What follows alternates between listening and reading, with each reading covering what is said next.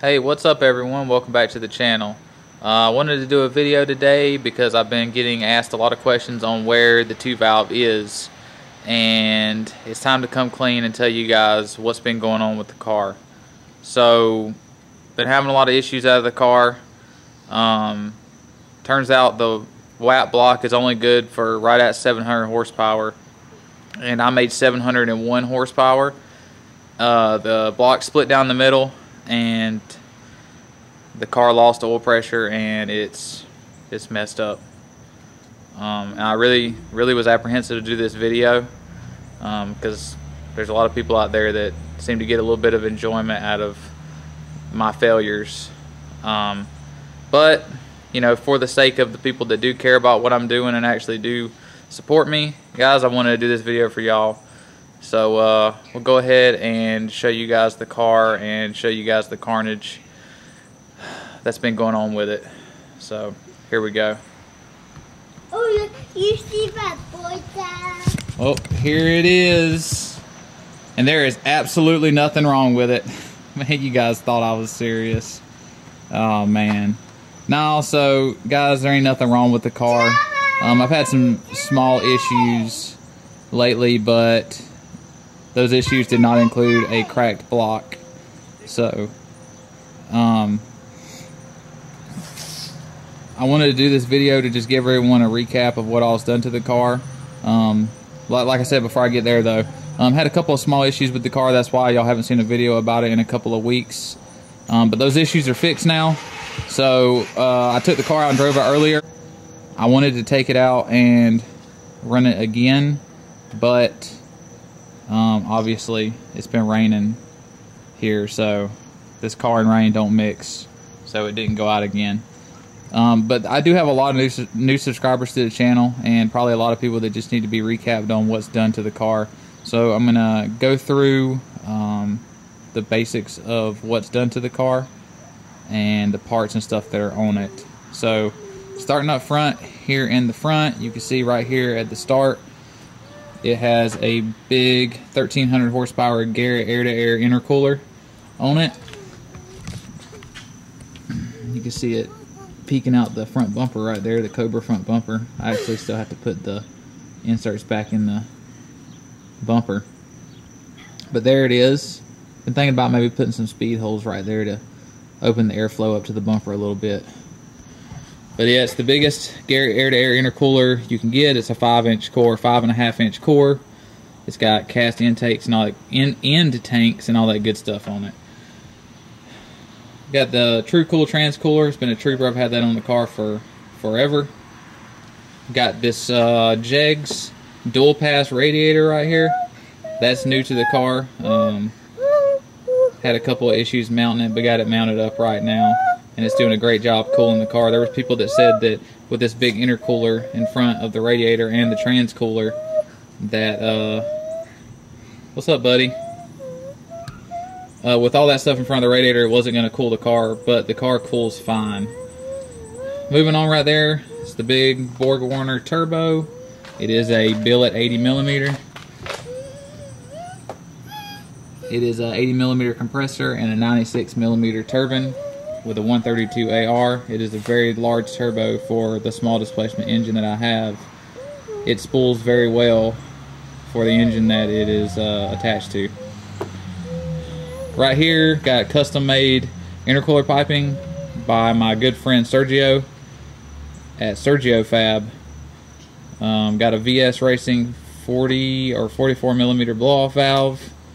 Like I said, the intercooler piping is three and a half inch and it goes down into the intercooler and back up, over here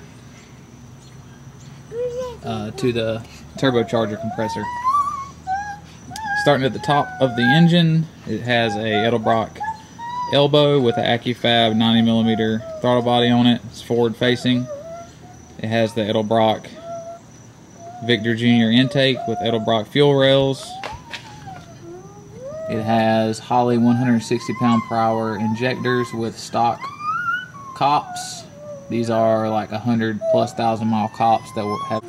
Right here, it has a PA Performance alternator with a big three and a half inch pulley. That pulley is eight rib. It's for a Cobra. It's the only three and a half inch pulley I could find at the time, so that's what I run. I don't really doesn't really bother me that there's extra two ribs on there. Has a Meziere electric water pump on it, and down there on the front, it has a ATI balancer with an ARP bolt on it. The heads are TrickFlow 44cc heads. They have Manley intake valves and Manley Inconel exhaust valves with modular head shop stage 3 springs. It has, let me turn this light on. It has Ford GT followers in it, GT500 exhaust lash adjusters in it. Uh, the head, all the head work was done by Jordan at Modular Head Shop. Uh, if you guys need any kind of head work done on your modular engine, hit up Jordan at Modular Head Shop. That's it for the heads. It has 0304 Cobra head gaskets on it. It has a WAP aluminum block that's bored 10 over with diamond mod 2k pistons. They are a negative 9.5 cc dish. The uh, the effective compression ratio of the engine is or i should say the static compression ratio of the engine is 10 and a half to 1 oh also uh, the cams are custom cams. They're a 242 intake duration and a 248 exhaust duration. Alright, back to the block. It has Molnar power adder rods. It has a Cobra crank that my buddy Alan Evans was uh, very nice to uh, hook me up with. Um, all the machine work on the bottom end was done by Shacklett's machine out of Nashville, Tennessee. Bolted to the engine is a TH400 built by Cameron Powers at CPR Transmissions has a lot of billet goodies and stuff like that in it. Um, billet trans brake, uh, able to leave in first or second gear. And I can't really get a video of it back there, but you guys can see it has the JW bell housing on it. JW the wheel flex plate, pilot adapter. It has a PTC 9.5 inch converter in it, which works amazing.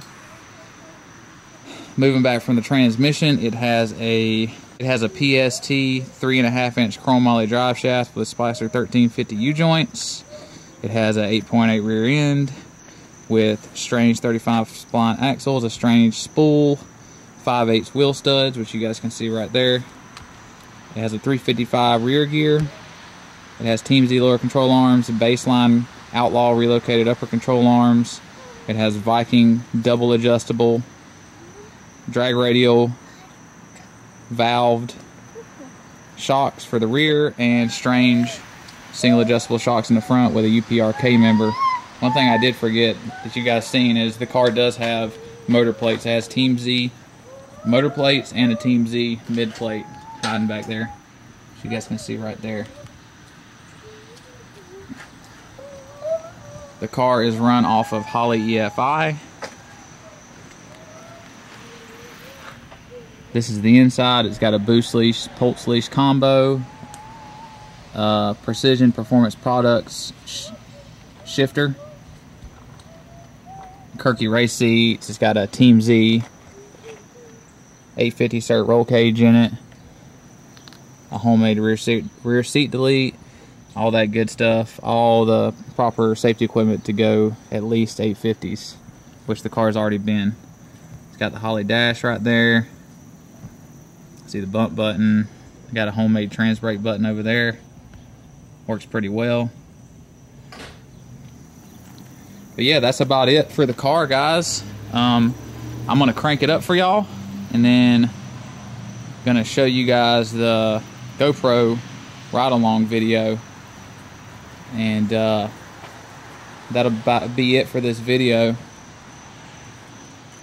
So go ahead and start this thing up.